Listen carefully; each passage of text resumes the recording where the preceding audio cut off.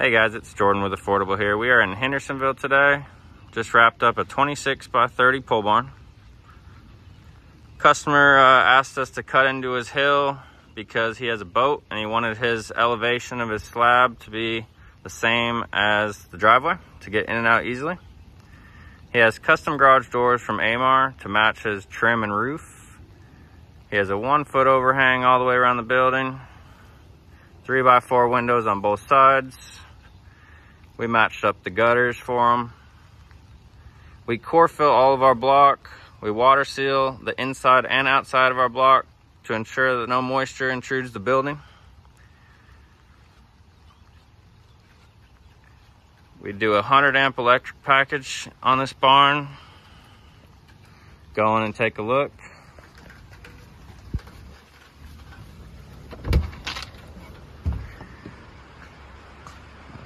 Eight foot lights throughout the building. Trusses five foot on center. Double bubble insulation. Six by six post. A nice concrete slab.